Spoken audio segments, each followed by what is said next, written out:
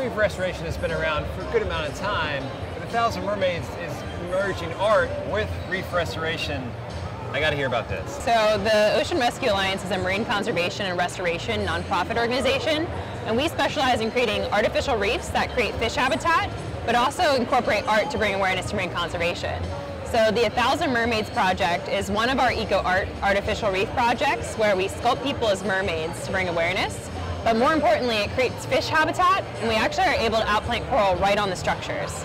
So you create a structure, you put it on the reef, and then you stick coral on it. Correct. So we actually developed a lot of different restoration technologies like the Coral Lock, and we're able to really use a threaded frag plug receiver.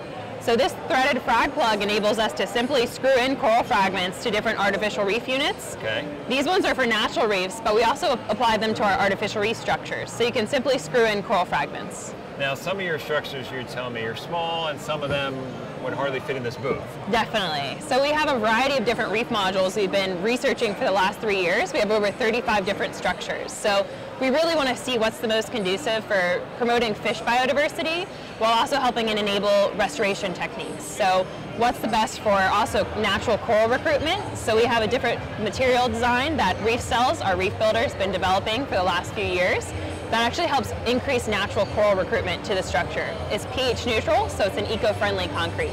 And this is better than, say, sinking a ship and creating a reef. Absolutely. And so that's that's a lot of the problems is a lot of artificial reefs are typically the trash of land, right? Construction pilings, limestone boulders, just tossed in the ocean. And that looks nothing like natural reefs, right? Okay. So it lacks that habitat complexity. And we really need that to help support fisheries. We can't be reactive like we are with everything else in life, right? And and as our reefs are dying, we can't wait for our reefs to die to wonder where our fish are going to go. So one thing we really specialize in is creating that complexity that mimics natural reefs. So we can support fisheries, but also create new reefs in areas that might not be impacted from disease and actually might help corals grow better.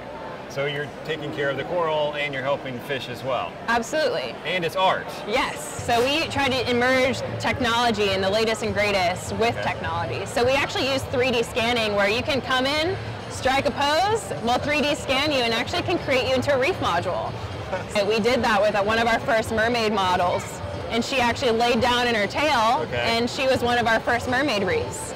So it's pretty, pretty unique. What's the craziest structure that you all have made and put on the reef? Definitely our Mermaids project's been one of the biggest ones taking hold in Florida, but what I'm most passionate about is when we're doing in Mexico that's a Mayan themed artificial reef.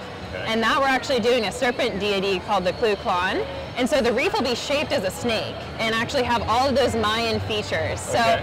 the art's the fun part. We can get really creative and do any type of reef structure, whether that's for a corporate brand, we could do a really large reef. For example, in Florida, we were thinking about doing a, a hard rock reef where you can do a guitar that would look like a guitar in the ocean from flying over. Okay. But then when you dive the site, we can make each position a different musician. So it can really create a unique site that's really impactful for that corporate brand. Right. But more importantly, it's creating restoration and fish habitat. How many of these have you put out in the ocean? So we've outplanted now about 10,000 corals, and that's continuing to grow. We're actually expanding internationally as well, and are looking to get some coral locks over to some of our partners in Australia. Okay. And especially also developing countries, island countries in the Caribbean, we're really wanting to enable these technologies to scale restoration on natural reefs, but also creating these artificial sites. They create alternate dive sites that alleviate pressures off of natural systems Okay. while creating nurseries where we can engage the public to outplant more coral and help cultivate as much as we can.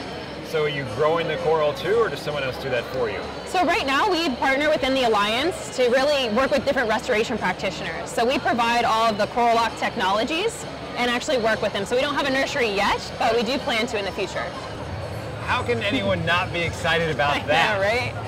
Hey, we, we need as much help as we can get. Um, I mean, even one thing we just started doing was celebratory and memorial reefs, but you can celebrate an anniversary or a loved one and actually get a plaque and we outplant coral right around it. So each person can contribute to restoration. I think, you know, that's one of the biggest problems in marine restoration itself. You know, ocean's out of sight, out of mind for many people. If you don't live on the coastline, a lot of people feel like their impact's too small to help, and that's in fact not true at all. There's much that we can do as an individual to impact our environments. And so one thing we really want to do with art is help really make that connection and make it more personal to people too.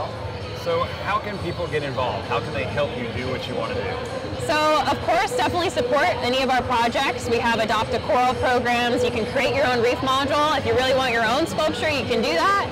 But um, definitely support. We have education programs that we go in and teach K through 12 about marine conservation initiatives. So visit our websites. There's lots of ways to engage, volunteer. Uh, you can help dive and help monitor as well. So I can come dive with you. Absolutely.